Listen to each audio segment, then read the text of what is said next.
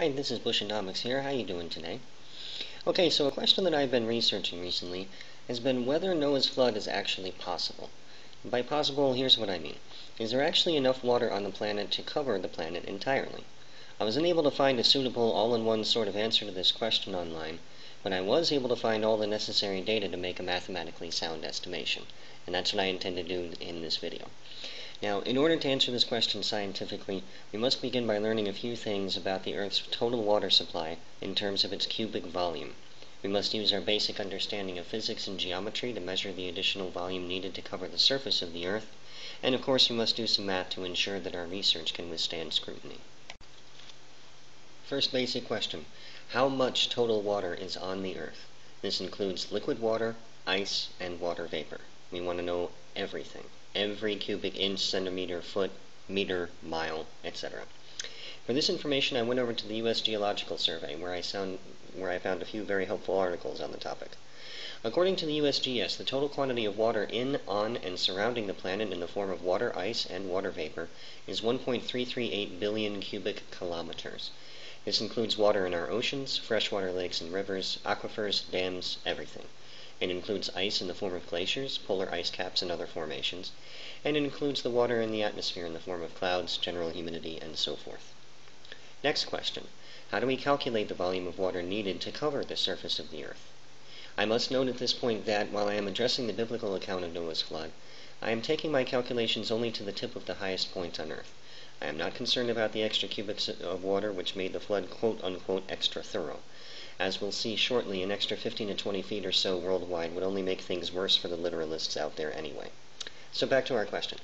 For illustration purposes, let's assume that the Earth is a perfectly flat sphere. No mountains, hills, valleys, depressions. We'll further assume that it has no satellite and therefore has no tidal cycle. We'll assume that its orbit is perfectly circular as well, to avoid any complications due to the sun's gravity, however minor. And lastly, we'll assume that it doesn't rotate about its axis. This last point is important as the Earth's rotation actually causes its circumference to be slightly larger equatorially than through the poles. Now, let us put one mountain on our arbitrarily perfect Earth, and let us call this peak Flood Mountain, appropriately enough. Flood Mountain is quite high, of course. In this illustration I made it exaggeratedly so in order to illustrate my process. You can see that in order to cover Mount Flood with water, or at least put enough water on our perfect Earth that Mount Flood would essentially be underwater, we must add volume to our perfect Earth in the form of water, such that we have expanded the volume of our perfect Earth so that its radius includes the very, very tippy top of Mount Flood. In short, we must fill that outer zone with water. Rather than calling it added volume, it would be more accurate to say that we are moving existing volumes of water from somewhere in our hydrosphere in order to fulfill the biblical requirement that all the earth be covered in water, just so we're clear. This brings us to our next question. How much water would it take to fill that outer zone? Please remember that for illustration purposes, I drew the outer zone way too big proportionally so that it was obvious where I was going. However, I think you can see what the basic calculations must involve. We must begin by determining the cubic volume of that outer zone, henceforth called the flood zone. Using our arbitrarily perfect Earth, this would be a simple process of mathematics. You would calculate the volume of the flood zone by subtracting the volume of the Earth from the volume of the sphere described by the tippy top of Flood Mountain. The volume of a sphere is calculated by multiplying the cube of its radius by 4 thirds and by pi. So to take a basic example using my little drawing here, if the radius of our perfect, perfect Earth was 1,000 meters, and the height of Mount Flood was 100 meters, the equation for the volume of our flood zone would look like this. I could have done this presentation in this overly simplified manner and just been done with it. However, I wanted to challenge myself and take the accuracy up a few clicks in an effort to avoid an onslaught of literalist creationist goalpost moving. So what we're going to do is we're going to discard our previous assumptions about our arbitrarily perfect Earth, we're going to move toward a much more accurate model. The Earth is not a perfectly flat sphere, as we know. It has hills, valleys, depressions, and so forth. The Earth does have a satellite whose gravity does affect Earth's tidal cycle. I'll be discussing that more in a minute or so. The Earth's orbit is not circular, it is elliptical in nature. For the record, this has such a small effect on Earth's sea level that it doesn't make much difference anyway. Why do I keep mentioning sea level, you ask? I will come up to that uh, very, very shortly. And the last assumption we're going to discard is the most important one. The Earth most certainly does rotate on its axis. This is one of the reasons why we can survive on this planet. and it is also the primary reason why our simple sphere minus a sphere calculation isn't good enough for the project that I'm undertaking here. So now we are dealing with the real world, more or less literally. The fundamental question is as follows. Is the volume of our flood zone greater than, roughly equal to, or less than the volume of water present on the earth? If the flood zone is greater, then a literal reading of the biblical flood account is impossible. If the flood zone is roughly equal to, or to any degree less than, the volume of water on the earth, then indeed the Bible is inerrant on this point.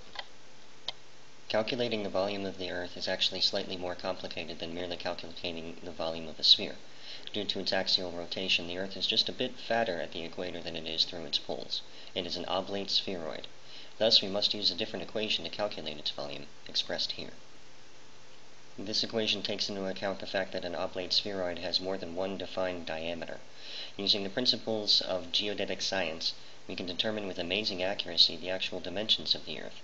It is this branch of the Earth sciences that is used in the worldwide GPS system, for example. Using the numbers geodetics provides us, we can now return to our previous simple sphere formula, revise it so that we are using the oblate spheroid formula, produce a more accurate result, and answer the question of this video. We will begin by replacing Flood Mountain with Mount Everest. Mount Everest is the highest point of Earth above sea level if we aren't being too picky about the fact that, again due to the Earth's axial rotation causing it to be slightly fatter at the, the equator, the highest point would actually be Mount Chimborazo in Ecuador, as its peak is closer to the equator and therefore slightly further from the center of the Earth than Everest's peak. Terrain altitudes, as you may or may not know, are measured from sea level. Sea level, simply put, is the average of high and low tides worldwide, which in turn are caused by the concurrent gravitational effects between the Earth and our Moon. Although you could argue that this wouldn't affect the actual volume of our flood zone, sea level most certainly affects what we refer to as the altitude of Mount Everest. Since the peak of Mount Everest defines the outer limit of our flood zone, I think it is important that we use the most widely accepted measurement of its altitude. The most accurate and widely accepted recent measurement of Mount Everest puts the rock peak itself at an altitude of 29,017 feet, or 8,844.43 meters. Geodetics tells us that the Earth's equatorial radius is 6,378.137 kilometers, and then its polar radius is 6,356.752 kilometers. Here again is our formula shown with geodetically accurate numbers and using the oblate spheroid formula rather than that of a simple sphere. Next, we simply add the height in kilometers of Mount Everest, 8.84443, to our geodetic figures, turn the mathematical crank, subtract the Earth's volume from the tippy top of Mount Everest volume, and we learn that the total cubic volume expressed in cubic kilometers needed to fill our more accurate geodetically based flood zone is 4.517 billion cubic kilometers. Just as a reminder, remember where my research began. USGS says that the Earth only has 1.338 billion cubic kilometers of water in its entire hydrosphere. Numbers do not lie, and here is the truth they are telling us very, very loudly. It is not mathematically possible to read the biblical flood account literally. There simply isn't enough water on the planet to cover its entire surface, let alone to a depth of 15 to 20 feet. And it's not like we're coming up just a bit short either. Intuition tells us that the Earth would need approximately 3.3 times its current volume of water in order to fill our Everest flood zone. Of course, intuition, like common sense, can frequently be wrong. Remember again that the flood zone represents the water needed to effectively raise the sea level from its current level to the height of the highest point on the planet. In other words, we would need 4.51 billion cubic kilometers plus the Earth's current water supply of 1.338 billion cubic kilometers. So in order for us to read the biblical account literally, the volume of water on this planet would actually have to be well in excess of 5 billion cubic kilometers. Furthermore, would have to have somewhere to store those extra 4.51 billion cubic kilometers after the waters receded at the end of the flood. This begs the question of, where did the flood waters recede to? In conclusion, I believe that people should be free to believe what they want. I believe that faith is a personal thing to each individual, whether you have or practice some variety of it or not. But if you're going to say that the Bible is inerrant, if you're going to say that the Bible is absolutely true, and that it must be taken literally word for word, and then you're going to butcher science in order to force your conclusions to fit your assumptions, please don't be surprised that you never get taken seriously. Thank you for your time. Thanks for watching. Feel free to rate, comment, subscribe as you see fit. My videos and my channel are open to everyone. Take care of yourselves.